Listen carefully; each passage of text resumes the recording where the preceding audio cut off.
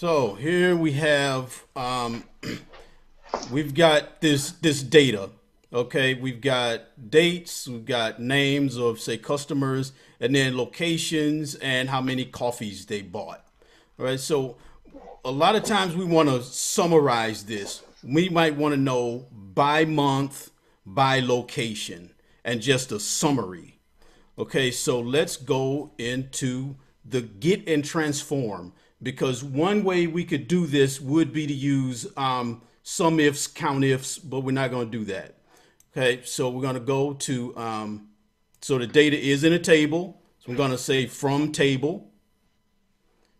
All right, so now the data is here. So let's um, transform this. We want to make this. Oh, let's see. Right here. Date. Okay, so now I want to add a column.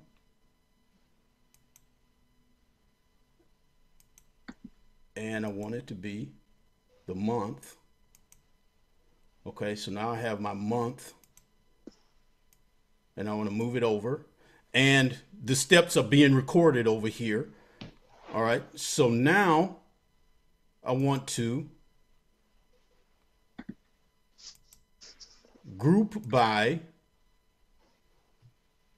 month, okay, and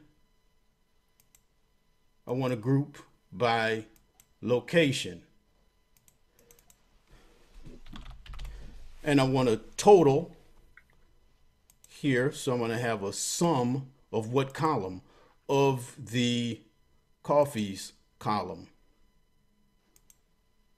Boom. Cool.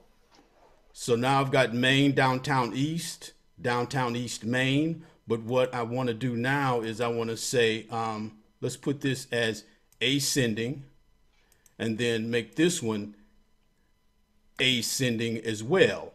Okay, so now it's downtown East Main Street, downtown East Main Street. So it's all consistent. So I go ahead and close and load this. Beautiful.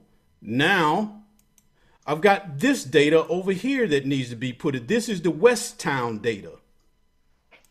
And now because it's in a table, boom. Now refresh. There's our West Town. Cool. Ah! Boom! Yeah! That's it! Touchdown! Oh, I like that. That was a great tip and a shocking yell. Oh, man. Now I gotta, okay, yeah, yeah, That's what man. happened in your first prime time episode. Well, shoot, man. Getting transformed, good God Almighty. That, that's all you can say.